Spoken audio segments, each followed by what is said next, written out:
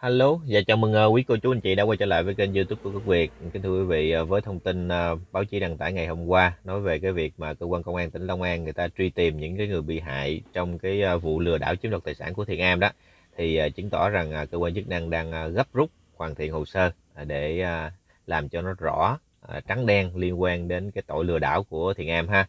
Thực sự đây là một cái tín hiệu rất là đáng mừng à, và khi mà cái vụ việc này nó dần bước sang cái hồi kết á, thì à, con gian đệ tử của tà am á, thì họ lại à, tiếp tục chống chế và họ la làng họ định hướng theo một cái cách thực sự là không thể nào chấp nhận được. À, mà những cái người đó thì lại gắn cái mát là luật sư chứ đúng không? À, và sau khi mà báo chí đăng tải thông tin có liên quan à, đến vụ thiện am đó thì hai người gắn mát là luật sư đó là ông à, luật sư sơn với lại bà thanh trần là có một cái buổi livestream à, nói thêm về cái vấn đề à, bị hại rồi lừa đảo của Thiện Am. Nghe thực sự rất là bức xúc cả nhà. Đây là rõ ràng là họ đang à, muốn định hướng dư luận và làm ảnh hưởng đến quá trình điều tra của cơ quan công an. Bởi vì à, à, hai luật sư này cho rằng á cái việc mà khởi tố vụ án hình sự theo cái tội lừa đảo chiếm đoạt tài sản tại à, Thiện Am và vũ trụ á là do báo chí đăng tải thôi. À, họ nói rằng báo chí đăng tải thôi để chạy truyền thông thôi chứ ờ, thật sự thì cái quyết định khởi tố vụ án hình sự là họ không thấy cho nên họ không tin rằng đó là sự thật. Đúng không cả nhà? À, báo chí đăng tải mà họ lại không tin à, họ phải nói là cái quyết định khởi tố là số mấy trên cái điều gì đó thì họ mới tin đó là cái vụ án hình sự thật sự. Chứ còn ờ, báo chí đăng tải thì là do truyền thông thôi. Ủa ai truyền thông mà một cái vụ án hình sự là cái tội lừa đảo mà không lẽ báo chí đăng trả tải chơi chơi thôi cơ nha đó, vậy mà họ lập luận theo kiểu đó đó. Thực sự rất là bức xúc luôn rõ ràng là định hướng dư luận và làm ảnh hưởng đến cái quá trình điều tra của cơ quan công an. Bởi vì rõ ràng công an người ta phát đi thông tin là tìm bị hại mà bây giờ hai cái người này gắn cái mát luật sư thì nói rằng đó là chỉ truyền thông đang chơi thôi. Chứ cơ quan công an không biết là có tìm thật cái không đúng không? Ta phải hiểu là rõ ràng cái ông này nói là đó là chỉ chạy truyền thông thôi. À, và cái cái chuyện mà khởi tố vụ án hình sự mà không thấy quyết định thì họ không không không tin là như là là, sự thật. À, vậy thì rõ ràng là ảnh hưởng đến quá trình điều tra ảnh hưởng đến những cái người bị hại. Những người bị hại người ta nghe theo hay nghe theo hai cái luật sư này thì người ta nghĩ rằng à cái này là báo chí đăng tải chơi thôi cho nên người ta không có liên hệ đến ờ, cơ quan công an để làm việc ờ, làm rõ cái cái vụ mà lừa đảo đó đúng không? Nó ảnh hưởng rất là lớn luôn. Đó à, và họ cho rằng á, là báo chí đăng tải vụ ờ, lừa đảo này á, là là chạy truyền thông thôi chứ chứ cái thông tin mà xác thực hay là nó thẳng ra á, là họ đang định hướng cho mọi người hiểu rằng á, là không có cái vụ nào mang tên là lừa đảo chiếm đoạt tài sản tại cái cái cái nơi thiền an vũ trụ. À, cho nên đây là một cái việc à, một cái um, một cái phát ngôn rất là nguy hiểm ha. À, nhưng mà họ nói thì ờ, cũng có căn cứ để dẫn dụ um, cái đám công nhân đệ tử mà. À, cái căn cứ mà để họ lập luận họ cho rằng cái việc đó chỉ chạy truyền thông thôi á là do họ do cái một cái vụ án hình sự mà à, mà khi mà khởi tố á, thì phải có sáu cái căn cứ. À, nhưng mà tất cả sáu căn cứ đó đó thì đều phải có bị hại. Tức là căn cứ nào chăng nữa đó thì cũng phải có bị hại ví dụ như là căn cứ vào đơn tố giác của cá nhân đơn tố giác của uh, của tổ chức hay là kiến nghị của cơ quan công an hay là cơ quan chức năng rồi đó. Nói chung là những cái à, những cái căn cứ để người ta khởi tố vụ án thì đều phải gắn liền với bị hại tức là có bị hại mới khởi, khởi tố vụ án hình sự. À, cho nên với cái việc mà cổng thông tin điện tử của Long An đăng tải cái việc à, tìm bị hại à, có liên quan đến vấn đề lừa đảo của Thiện Am á thì chứng tỏ là từ trước tới giờ chưa có bị hại cho nên bây giờ mới đi tìm. À cái đó là lập luận của cô cô thanh trần nha. Cô nói là bây giờ mới đi tìm bị hại thì chứng tỏ là cái vụ việc này nào giờ chưa có bị hại. À, trong khi á thì cái cái cái ông sơn ông nói là sáu cái căn cứ để khởi tố vụ án hình sự á, là phải có bị hại mới khởi tố. Ủa vậy sao? À giống như là người người tung kẻ tung người hứng nhưng mà hai cái cái vấn đề đó thì lại đối nghịch nhau. Đúng không? Đây thật sự đây là một cái suy nghĩ rất là thiển cận.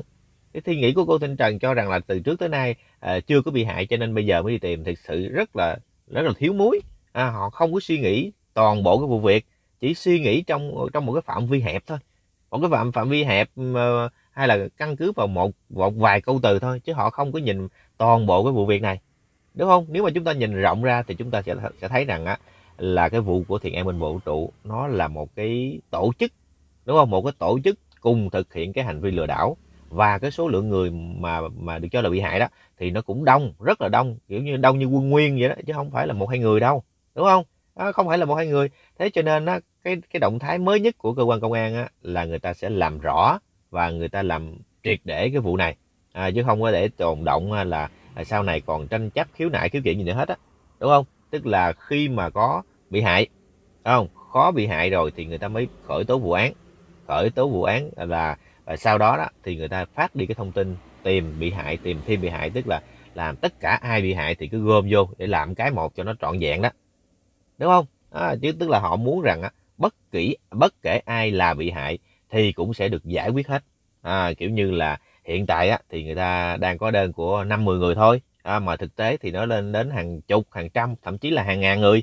À, chính vì vậy á, cơ quan chức năng muốn làm một lần cho nó xong hết luôn à, chứ không thôi. Mai mốt còn à, lác đác một vài người cái ờ, khiếu nại nó ờ tôi tôi cũng là bị hại trong vụ đó là phải ờ, à, tôi muốn lấy tiền lại hay gì đó. Thì nó nó mất công lắm. Dồn sức cho nên đó người ta có để cái thời hạn á, là trong vòng 30 ngày nếu mà không liên hệ với cơ quan chức năng thì mai mốt là à, khiếu nại khiếu kiện gì là người ta không giải quyết nữa. Đúng không? Cho nên ta muốn làm một lần cho nó xong hết luôn. À, chứ có ai nói cái vụ này là chưa từng có bị hại và phải chờ đến khi uh, khởi tố vụ án uh, sau một tháng đúng không? Một tháng rồi à, sau, sau tháng rồi thì mới mới phát đi cái thông tin là tìm bị hại. Đúng không? À, rõ ràng á là báo chí có nói á, là tìm bị hại để uh, củng cố hồ sơ chứ đâu có nói là chưa có bị hại đâu. À, với lại cái ông sơn á à, ông ông ông luật sư sơn rồi bà thanh trần luôn à, đều khẳng định là để mà khởi tố vụ án hình sự đó thì phải dựa vào sáu cái căn cứ và tất cả sáu căn cứ đó đó đều phải có bị hại chứng tỏ là đã có bị hại rồi cho nên người ta mới khởi tố vụ án. Đúng không? Hai cái hai cái vấn đề này nó đối nghịch với nhau mà hai người này kẻ tung người hướng à, nhưng mà cái cái vấn đề à, nào chăng nữa thì họ cũng định hướng theo cái kiểu là là cái vụ của thiện am này là không có thật.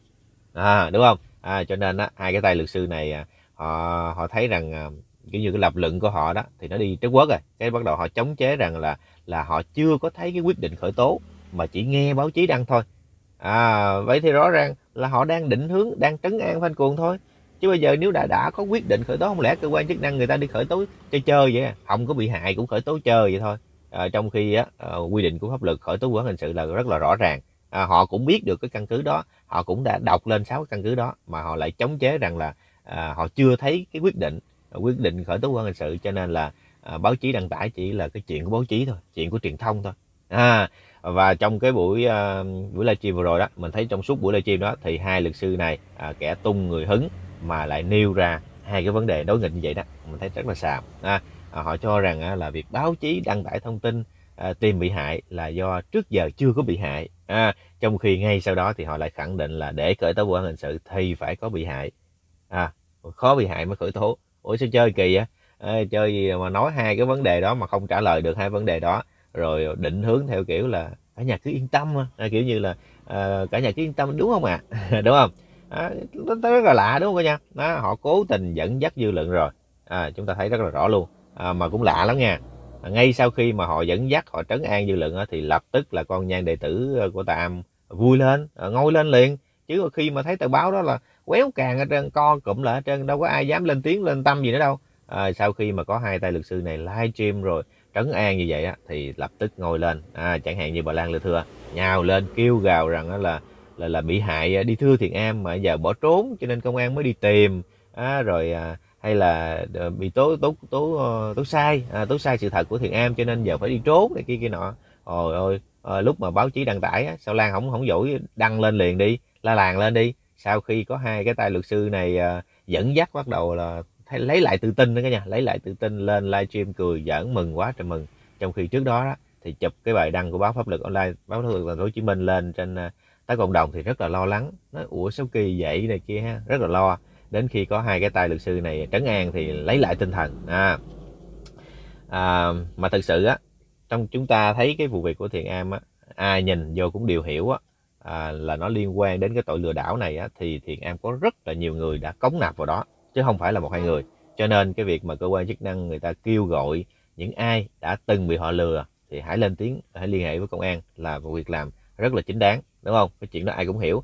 Chẳng hạn như đơn giản như cái vụ ờ, Alibaba nè của Nguyễn Thế Luyện mà đang đang xét xử đó cả nhà đúng không? Cái vụ đó đó người ta khởi tố từ năm 2019 rồi mà đến năm 2021 à, công an mới mới mới phát đi cái thông tin là tìm thêm bị hại. Vậy thì cái vụ Thiên an cũng vậy thôi. À, nhưng mà qua thông tin đó thì chúng ta lại thấy rằng là là là, là sau hơn hơn một tháng khởi tố rồi công an ờ, tìm thêm bị hại thì chứng tỏ là cái vụ này nó đã dần đến hồi kết rồi cả nhà. Dần đến hồi kết rồi à, đó là cái điều mà rất là đáng lo ngại rất là đáng quan ngại cho cho thầy ông nội đó đúng không? À, cái chuyện đó thì họ lại không nói họ không không không có bàn. Tại vì họ biết chắc là chắc là sụp hố rồi cho nên đâu dám nói chuyện đó. À, quan trọng đó mà không nói mà lại đi nói chuyện tầm bậy tầm bạ tàu lao sức. À, nhất là cái tay luật sư ờ, sơn á à, còn tiếp tục ngụy biện rằng là thiền em không có lừa ai. À, vì họ à, chưa từng ờ, tuyên bố là họ mồ côi. À, có có chăng là tuyên bố thoáng qua thôi. Trời nghe sốc óc thì cái nhà à, rồi còn hắn hắn còn thao thao bất tiện rằng đó là cái tội lừa đảo á, là cái tội mà phải dùng thủ đoạn gian dối để chiếm đoạt tài sản á, thì mới cấu thành tội phạm. À, còn thiền am thì à, chưa từng tự xưng là mồ côi à, rồi cũng không có kêu gọi quyên góp cho nên không thể cấu thành cái tội lừa đảo đúng không? Trời ơi tào lao chứ. Đây đây cả nhà nghe nghe nghe ông nói cái đi. À, nghe ông nói cái đi rồi chúng ta cùng vào sỉ vả vô cái bản mặt của ông được á. Này đây.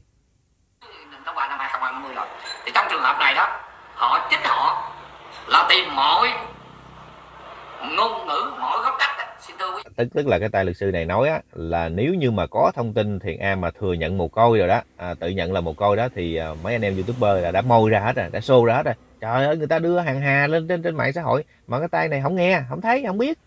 Học theo cái cái năm không của thiền am là sao á. À nè nghe ông nói à bây giờ nó đơn giản là tìm những cái youtuber đó họ có họ chứng minh liền là họ có là họ làm rồi. Họ theo đây nè đoạn này nè clip kia nè. Nhớ à, trang nọ nè của thiền am đã, đã là quyên góp tiền từ thiện nè hoặc là rêu rao lên rằng là chúng tôi đang là chỗ trung tâm nuôi trẻ mồ côi nè hoặc là chúng tôi là những người mồ côi nè à.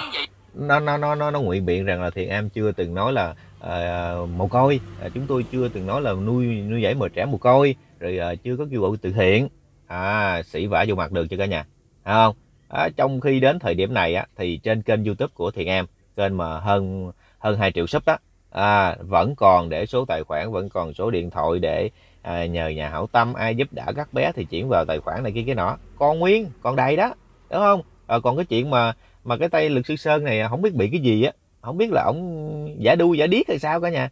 Chứ có cái chuyện mà à, mà tự xưng là mồ côi hay nuôi dạy trẻ mồ côi á, là hầu như tất cả những người trong thiền am đã đều ít nhất một lần phát ngôn rằng họ là mùa à, nuôi trẻ mồ côi đúng không? Kể cả ông Vân nè ông Vân thì rất là nhiều lần à, khoe với lại à, à, Colomen cương dừa nè rồi khoe ở cái à, à, cái cái cái chùa gì đó phải không? À, tôi nuôi 200 trẻ mồ côi này kia không? Rồi à, Hoàng Nguyên Nhất Nguyên trả lời à, phỏng vấn của youtuber hay là báo chí gì đó thì nói là tôi à, được à, là mồ côi nuôi trong chùa thầy à, theo theo thầy thầy Vân à, trong chùa từ nhỏ gì đó đó. Rồi à, Quyền Trân cũng đã nói và đặc biệt nhất á, là cô Kỳ Duyên với lại Quyền Trang xuất hiện trên sóng truyền hình HTV7 nói rằng là những đứa bé đi thi thách trấn hài đều là mồ côi. À, đứa thì bỏ trước cổng chùa đứa thì bệnh viện cho đứa thì à, à, gia đình nuôi không nổi nên trao cho chùa. Đó đó là mình trích dẫn đúng cái cây câu nói của họ luôn á. À, mà cái tay luật sư sơn này á à, giả điếc à, giả giả giả đuôi giả điếc à, không nghe không thấy gì trơn á. À, bây giờ vẫn tiếp tục theo cái lập luận là à, thiền am chưa hề kêu gọi quyên góp chưa hề nói mồ côi. Trời ơi vậy là đủ hiểu rồi. Đủ đủ hiểu cái trình của hắn như thế nào rồi cho nên á hắn mới à, bên vực thiền an bất chấp đúng không? Chứ nếu mà con người ta chịu tìm hiểu chịu nhìn nhận nhìn thấy những cái sự thật đó thì người ta đã lên tiếng người ta dạch trần sự thật rồi. Và chính vì cái cái cái cái, cái trí tuệ của họ có có giới hạn như vậy đó cho nên á họ vẫn bên vực hậu gia đình ta ta bất chấp đúng không nha à, cho nên cuối cùng thì chúng ta lại phát hiện ra những cái kẻ bên vực hộ gia đình tà am thì thật sự là họ đang một á, là họ cố tình hai là cái trí tuệ của họ hình như có vấn đề ha thì à, hôm nay à, chia sẻ đôi điều cả nhà à, liên quan đến cái vấn đề mồ côi mồ côi của thiện am. Và xung quanh cái à, cái tờ báo à, kêu gọi à, những ai là bị hại của thiện am liên hệ với cơ quan công an ha. Rồi xin chân thành cảm ơn quý cô chú anh chị đã quan tâm theo dõi á. Xin trân trọng kính chào và hẹn gặp lại.